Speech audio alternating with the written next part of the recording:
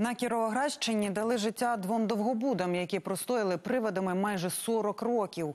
Будинки добудували і перші квартири там отримали родини пільговиків. Олена Бринза побувала на входинах.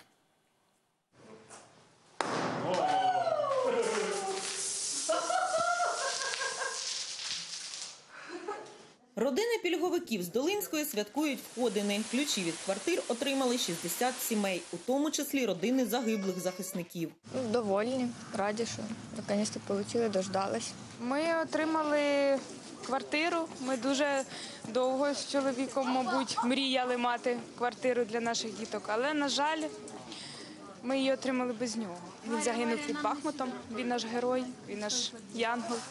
Цей квартал із семи багатоповерхівок будувався для працівників Криворізького гірничо-збагачувального комбінату ще у 80-ті. Однак підприємство тоді так і не запрацювало, а будинки майже 40 років стояли пусткою. Щоб дати життя цим недобудовам знадобилися роки. Спочатку міська влада забрала багатоповерхівки на свій баланс. Далі виділили з місцевого бюджету на добудову 12 мільйонів гривень. Долучився і приватний бізнес. Роботи тривали понад півроку.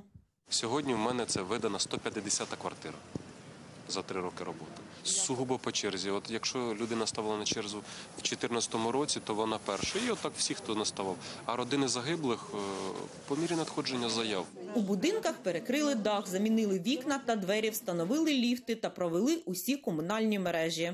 Чесно, я положила б так на паузу і лежала, бо це наше. Я ж кажу, ну це такі емоції просто. В нас стільки планів. Це і просто це такий подарунок на новий рік. Нині у Долинській у черзі на квартири ще з півтисячі родин. Для них планують відновити й інші будинки у цьому кварталі. З Кіровоградщини Олена Бринза, Роман Круніч. Подробиці телеканал Інтер. Марафон. Єдині новини.